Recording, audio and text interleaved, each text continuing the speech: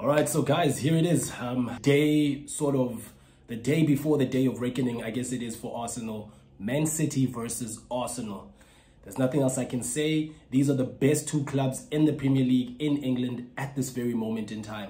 You can debate it all you want. You can go ahead and bring out the best history facts, bring out who's got goals expected, who's got.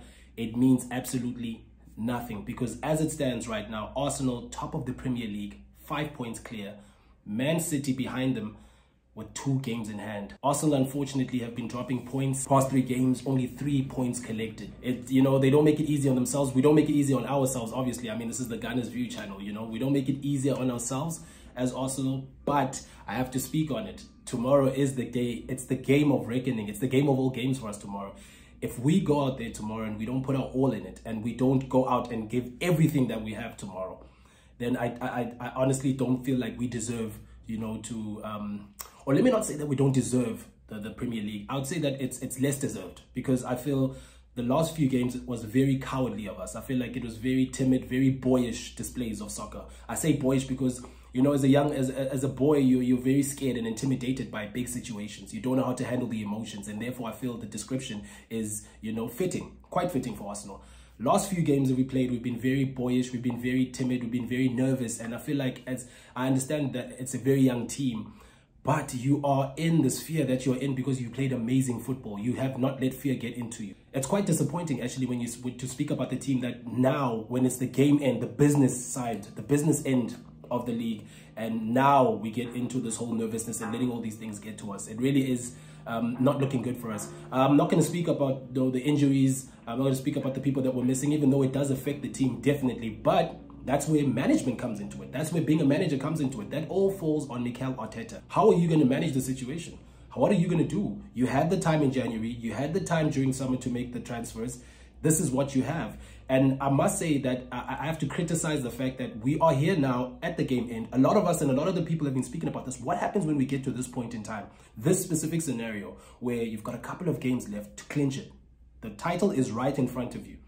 But because you did not have the squad depth, because you did not prepare your players accordingly, you don't have backups to your backups. This is what we're left with.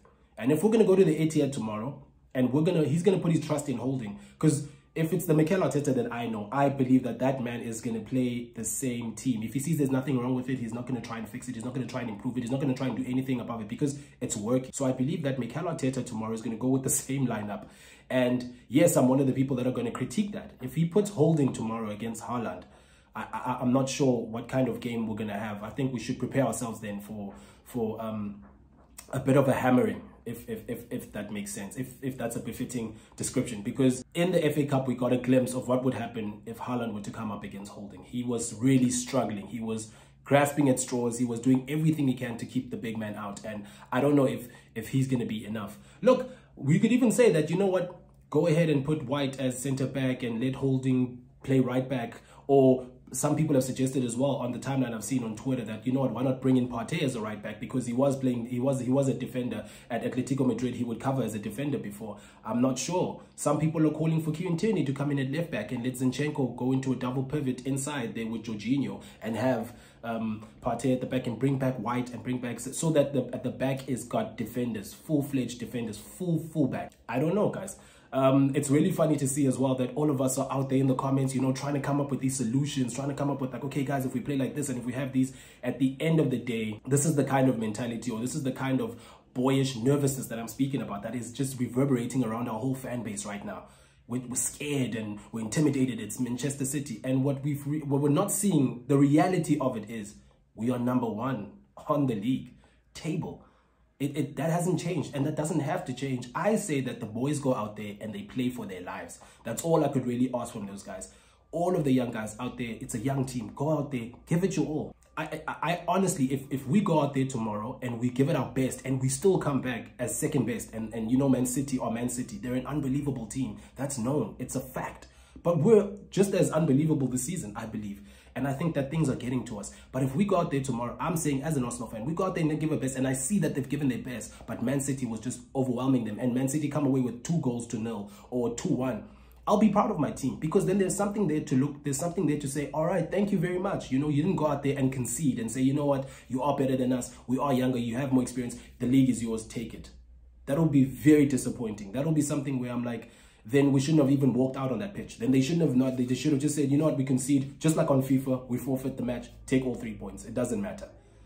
But what I want from these guys is to actually go out there and show some grit. Show us, the fans, how much you actually want this. It's time now. You know, with the games that are coming out, it's time right now for Arsenal to buckle up, you know, get your big ball, big boy pants on, and let's get going. That's all I wanted to say. And, um, you know, I, am not even going to come here and put, and put out my starting 11. I have to put my trust in Mikel Arteta. You know, we need to trust the process. Let's see what the process will do for us. But I have to say that right now we are being picked out for the things that he did not fix.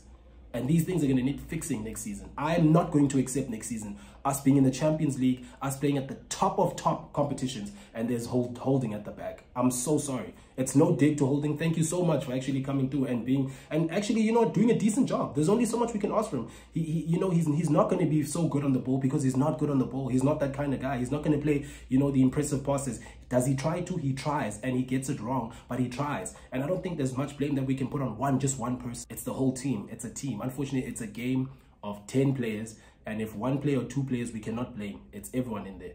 You know, so today I just wanted to come on here and say tomorrow we need to give it our all. We know what we're coming up against.